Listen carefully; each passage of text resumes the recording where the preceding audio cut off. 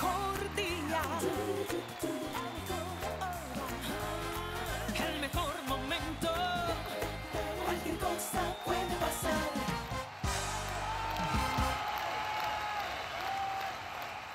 Sábado en vivo es la etiqueta que estamos utilizando el día de hoy, arroba sábado en la noche GB, para que interactúen con los menores. Les voy a contar sobre este nuevo proyecto musical. Ellos son Sheva, Sebastián Primera, yo no sé si lo pueden ver que está justo a mi lado, Nego, Diego Primera y Big Bowe, Santiago Hiller. Bienvenidos, los menores, pero lo... Bienvenidos. lo- lo curioso- Bienvenidos. Bienvenidos. Gracias, gracias por tenernos aquí esta noche, este sábado, en la noche. en vivo, además. Exacto, en vivo. Son exactamente las 10 y 55 minutos. La gente no cree muchas veces que estamos en vivo, por eso eh, reitero la hora una y otra vez, ¿no? Pero lo curioso de todo esto es que Sheva es el hijo de Servando, eh, Diego es el hijo de Florentino. Lo que pasa es que tú eres igualito a Servando. Yo sé, somos familia. O sea, debería ser al revés. Y Santiago es un amigo, el menor, Primo. aunque parece. Primo. ¿Es primo también? Sí. Ah, Pero de, de cariño, pues, de amor. Desde ah bueno, pequeño. de amor, desde Claro, chiquito. Claro, Ah, ok. Aunque seguro por ahí estamos conectados ahí. exacto. Capaz. O sea, no hay un vínculo sanguíneo directamente, No, sino no, solamente no. de amistad. ¿Cómo se ser. forman? ¿Cómo se forman los menores? Bueno, cuento O sea, comenzó. obviamente el tema musical va en la sangre. Obvio, ya Oye. desde, desde niño siempre hemos estado metidos en la movida de la música y bueno, poco a poco uno se va enamorando con todo lo que tiene que ver con la música. Pero comenzó cuando Big Bow y yo, como que de chiquitos hacíamos freestyles y los montábamos en Instagram para ver qué pensaba la gente. Y como que nos fue medio bien y terminamos grabando un tema que se llama Bowie. Ese es nuestro primer tema oficial. Él estaba viviendo acá en Caracas mientras nosotros estudia- estábamos estudiando allá. Y nada, después hicimos un tema los tres juntos que se llama Niño Inocente. A, a mí me gustó el de Bower. ¿Te gustó Bowie? Me, me parece, me parece, de verdad me parece interesante. ¿Por qué? ¿A ustedes no les gusta? No, Sí, o sea, es, es- Es conocido por gusta, las pero- razones exacto. incorrectas. Es lindo o sea, ver cómo así. hemos mejorado, ¿sabes? Así como yo lo veo. Pero ¿cómo se suma, cómo se suma Sheva? O sea, él dice, eh, Nego, perdón, eh, yo quiero estar ahí este, cuando ve lo que ustedes hicieron, o, o ya lo tenían ahí en No, stand-by. Yo estaba de viaje, o sea, yo estaba de viaje, eso fue el año o sea, pasado. tú, tú formabas parte de- del Pasado. proyecto, de, de- no, ah, o sea, de ese proyecto inicial. habíamos hablado de eso, pero nunca fue algo serio. Ok. Y hace dos años, yo llegando de vacaciones, ellos me llaman y me dicen, vente que estamos en el estudio grabando un tema. Yo voy, y ese tema yo creo que lo hicimos más como de broma, o sea, no lo hicimos creyendo que íbamos a sacarlo oficial. Y nada, duramos un 10 horas en el estudio, 11 horas en el estudio, no sabíamos hacer nada en ese momento. Y con el tiempo nos empezó a gustar el tema, empezamos a hacer más y nos quisimos formalizar como los menores. Eh, a mí me llama la atención, ¿no? Que lo decían hace ratico, eh, que Santiago, o sea, Big Bower, es el menor del grupo, ¿no? Aunque parezca Sí. el mayor, pero hay algunos artículos que ustedes, si ustedes lo buscan en Google, eh, que le adjudica el apellido Hiller y otros Bailón. ¿Cuál es tu verdadero apellido? en verdad, mi verdadero apellido es Santiago Hiller Bailone. Ok. Es mi verdadero O sea, los dos, los dos Claro, funcionan. claro. Sí, pero Hiller es principal. Claro, es el de mi Claro. papá. Es el artístico, el comercial, en Claro. este caso. No, y, y además suena como, suena como más bonito, ¿no? Eh, ¿qué, qué sucedió cuando ustedes le dijeron? eh, ellos se ríen, ellos ven y se ríen. En mi opinión, son dos apellidos muy hermosos. Ay, tan lindo, mira. Miren, chicos, este, ¿qué, ¿qué sucedió cuando le dijeron a sus papás, eh, quiero dedicarme a la música, eh, voy a- vamos a formar un trío que se va a llamar Los Menores, lo apoyaron, les dijeron que no por los Claro. momentos, que tenían que estudiar primero, ¿qué sucedió? Nos apoyaron 100% porque son buenos papás, buenas mamás. o sea, ellas tuvieron mucho que ver, nuestras mamás y nuestros papás, obvio, tuvieron mucho que ver con lo que somos hoy en día. Que gracias a Dios nos está yendo muy bien. Ahorita acabamos de sacar una canción que se llama Dato, que Ya vamos es para allá. espectacular, sí, es hermoso lo que está pasando con esa canción. Y bueno, gracias a ese tema, Al apoyo de mañana tenemos un concierto en modo, que gracias a Dios que estaban mandando eso, hicimos soldados, estuvimos en todas las entradas. Gracias, gracias. Y nada, Dato fue realmente, ahorita estamos ensonando mucho más gracias a esa canción. Y nada, nuestros papás siempre nos apoyaron. O sea, no hubo un momento en el que dijeron, como que no nos parece. Mi papá, bueno, pero, nuestro papá. pero que sí necesitamos seguir en el colegio, ¿no? Exacto. Ah, o sea, no es perder lo O sea, es que- una condición que les pusieron. Obvio. Para... Y, y, bueno, y para que sepan, nuestro, uno de nuestros castigos, o sea, por ejemplo, si estamos saliendo mal en clase, es no poder ir al estudio, no poder trabajar. Ese es nuestro castigo. Wow. ¿Verdad? O sea, la, la- la Un cuestión es en serio. Ahora, yo quería preguntarles por qué escogieron el nombre de los menores. Eh, ¿Ustedes piensan desarrollar este proyecto a largo plazo o, es- o- o como vaya viniendo vamos viendo? Porque se los planteo por lo siguiente, aquí en Venezuela hubo una, una orquesta de, de salsa que se llamó Los Adolescentes, no sé si la han escuchado, y después los integrantes crecieron, ya no eran adolescentes, eran maduritos, pero mantenían el nombre, entonces era como un poco raro, ¿no? Entonces en el caso de ustedes, los Ya- menores hasta cuándo? Ellos, dos, ellos dos ya están a punto de no ser menores, ¿no? Pero lo tenemos a él. Falta- falta. No, pero el nombre sale porque, o sea, realmente es algo normal. Es, es X. O sea, aquí en Venezuela se dice a los chamitos Hola, menores. menor, sí, claro. O sea, menorcitos, menores. Y nuestros papás siempre nos llamaron así porque siempre estábamos juntos en todos lados. Eran, ¿dónde están los menores? ¿Qué vamos a hacer con los menores? ¿Qué hacen? Y nada, o sea, nos guiamos por ahí, el 3, o sea, el lo menor, 3, ese. Ahí salió cuando yo me uní al, al grupo, salió el- los menores. Y, a- y ahora están, por ejemplo, de vacaciones en el colegio, que están... Ahorita no. ¿Qué, qué piensan estudiar ustedes? Porque ya... ya En la universidad. Ujú, ya queda Música. poco, ¿no? Música. A mí me gustaría ser ingeniero, pues, también. Es ¿De como sonido? un- O, o- Ingeniero de sonido. De música, pues. o sea, de sonido. Que- Yo no sé, si te soy sincero, no tengo ni idea. O sea, no me he puesto a pensarlo. ¿Y Vic? Yo creo que si, si es que tengo que ir a la universidad, eso es lo que haría, la música. ¿Cómo que sí? Es que Es que nuestra que ir. mamá, nuestras mamás quieren que vayamos y están intensas con eso.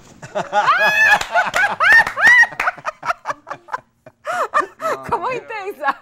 O sea, tóxica, No, no intenso, tóxica. pues, es como el sueño de la mamá, ¿sabes? Ver a un niño estudiando. Claro. Ahora, Pero, también, también puede ser, ¿no? El sueño de la mamá eh, ver al niño triunfando. O sea, a lo mejor lo mismo, y el de los papás, No, ¿no? claro, lo mismo que hicieron sus padres, porque ellos desde muy jóvenes, eh, pues, era un fenómeno mundial. O sea, yo soy esa época, pues. Al final del día, nuestra mamá lo que quiere es que nosotros seamos felices. Pero nosotros también queremos que ellas sean felices. Entonces ahí sale la universidad. O sea, lo primordial ahorita, o sea, nosotros, yo por lo menos no, no estoy pensando tanto en la universidad porque quiero lograr que mi carrera suba. O sea, queremos lograr que la carrera, lo, log- o sea, logremos a lo alto. pues. Pero entonces, o sea, yo sé que por lo menos ahorita me está costando lograr hacer colegio y, y música porque ahorita estoy perdiendo clases. Claro.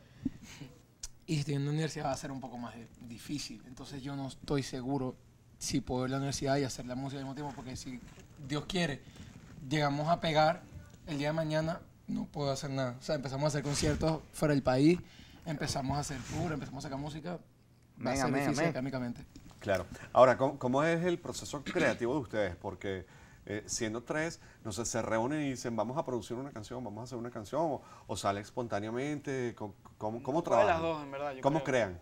Eso sale como un, un juego, no un juego, pero o sea, es- nuestro grupo está es familiar. O sea, todos nuestros compositores son primos. El Rodri, nuestro manager, es hermano de Santi, nuestro primo. Todo está basado en familia.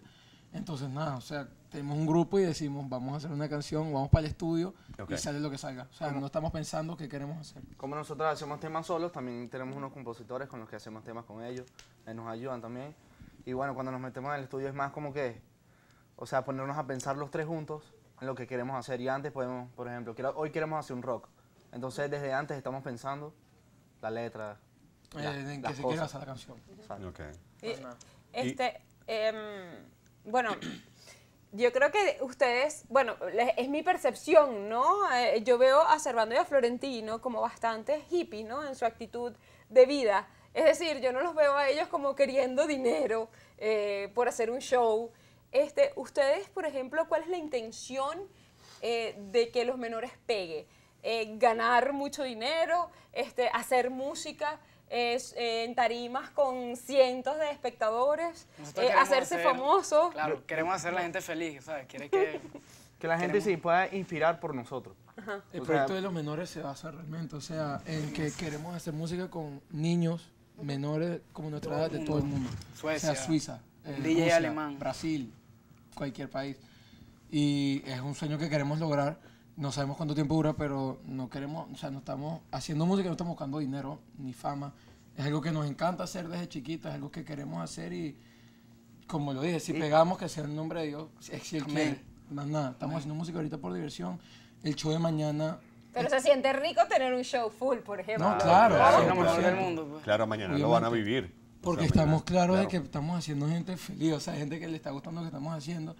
Y eso es un- una motivación para seguir adelante porque sabemos que hay gente que le estamos agradando. Pero estamos lo rico de llenar un show en verdad es como que si tú das energía es recibirla de vuelta. Es, lo- es el sentimiento más hermoso que te pueden dar las fans, que las queremos juro.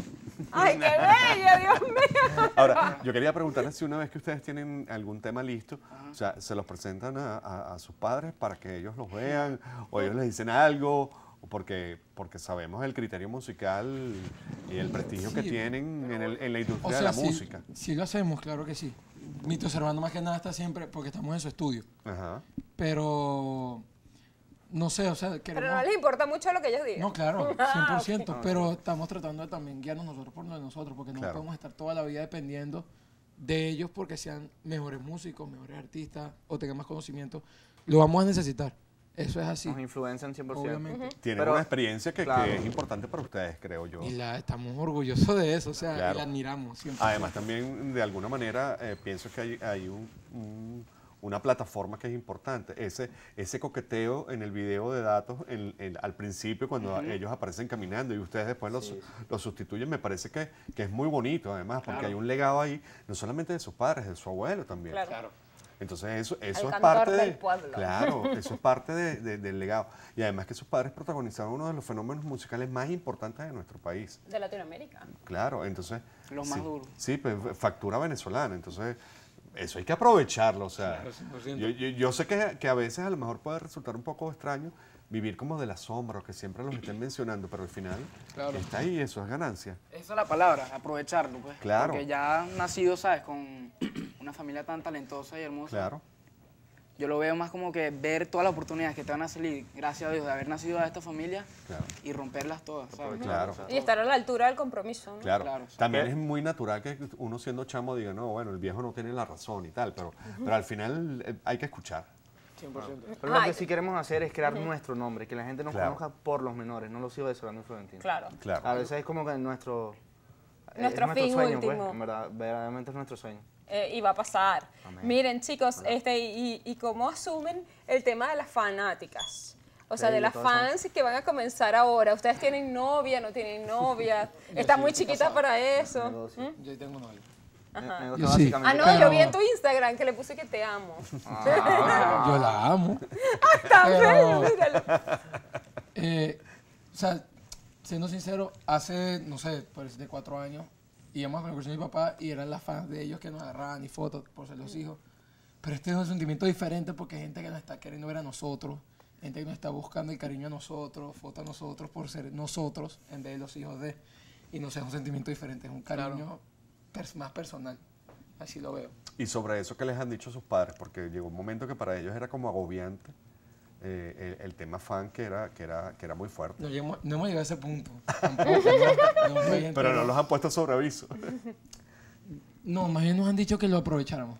Que seamos, que estemos felices de lo que tenemos ahorita, aprovechemos lo que nos va a venir y estemos preparados. Porque si va- llegamos a, a lograrlo, hay que estar preparados para eso. y Pero ese es un que- público Y- que va a estar con ustedes toda la vida. ¿Y qué estilo, qué estilo quieren? Ya se nos agotó el tiempo, pero, pero sí quería saber qué estilo quieren proyectar ustedes, no, no a nivel musical, sino a nivel de look. O sea, ¿qué, qué quieren mostrar? Eso es algo, eso es- creo que es lo más fino de nosotros, que siempre, cada uno tiene un estilo diferente, pero es un estilo fino, algo que, o sea, eso, define. La, la ropa es algo que nos encanta, o sea, vestirnos, siempre de- estar bien de- de vestido. cierta Ahorita manera. parezco un rapero de los 90, ¿sabes? Sí, pero yo estuve chequeando las cuentas de ustedes en Instagram y tienen unos lujos así, medio- a veces medio fumaditos y tal. O sea, que tienen una prenda ahí. No, sí, es que nosotros, o sea, no, no, nos vamos por lo, por lo extrovertido, si se bueno, puede no, decir así. no, tu- tus zarcillos son de rockero, ¿viste? También. Claro. Pero no tengo nada Tienes la que pinta de ver agarrar más allá de los guitarra, zarcillos. tú tienes la pinta de agarrar los una guitarra ahorita y la rompes, ¿no? Ah, pinta. Lamentablemente. No, y, pero y sí, que quisiera ser músico, pero no soy. Pero nada, con el estilo realmente, o sea, lo que creo que lo que nos puede definir mayormente es en música, que no, no nos basamos en un solo tipo de música, y a- en ropa, o sea, como puedes ver, no tenemos el mismo estilo, por decirlo así, ya en chaquetado. Él anda en una chaqueta así noventosa, él más, no, no sé cómo explicarlo. Seriecito. Yo ando playero, por decirlo así. O Entonces, sea, no, no, ustedes no dicen, bueno, vamos a vestirnos de azul, de amarillo, de anaranjado, Flojito. verde, lo que sea. Cada quien se viste como quiere. Eh, él, él usa cinco anillos Uno en cada dedo. Él solamente su anillo de, de matrimonio.